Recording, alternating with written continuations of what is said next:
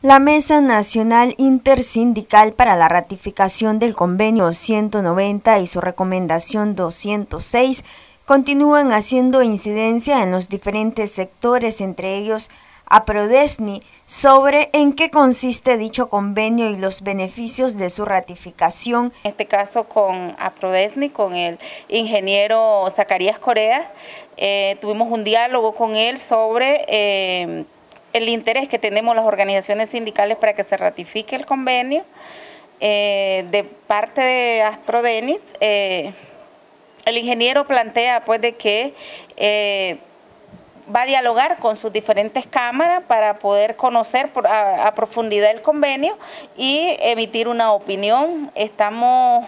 para este mes de septiembre vamos a desarrollar un foro en conjunto con la empresa privada, en este caso con las cámaras que están en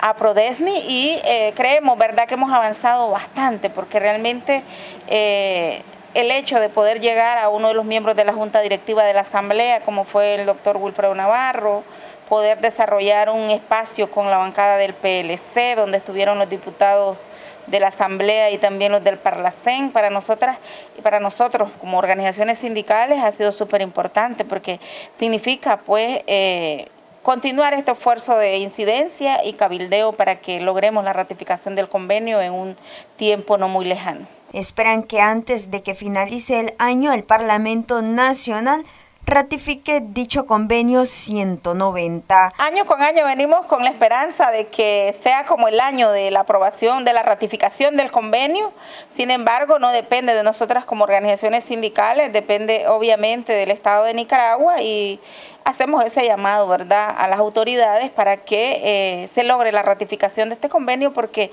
sabemos que eso contribuirá a eh, que haya un mayor rendimiento para las y los trabajadores en sus centros de trabajo. Noticias 12 Darlene Telles.